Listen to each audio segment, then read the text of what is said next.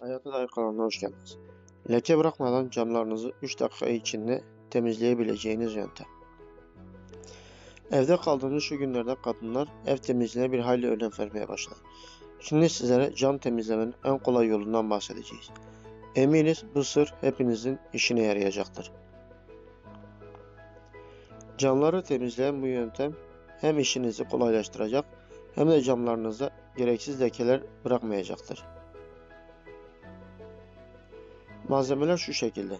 2 bardak su, 3 yemek kaşığı sirke ve yarım çay kaşığı sıvı bulaşık deterjanını karıştırarak kullanın.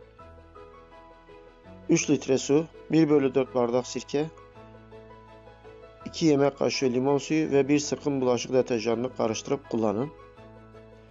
Yarım bardak sirke, 2 litre ılık suyu karıştırıp kullanın. Bu karışımların her biri gazete kağıdıyla uygulanırsa çok daha olumlu sonuç verecektir. Unutmayın ki gazete kağıtları camlardaki kalıntıları temizleyen en iyi yöntemdir. Bu arada unutmadan camlarınızı mutlaka güneşli olmayan saatlerde silin. Sıca- sıcaklıktan dolayı camlarınız çabuk kurur ve bu da camlarda leke oluşmasına neden olabilir.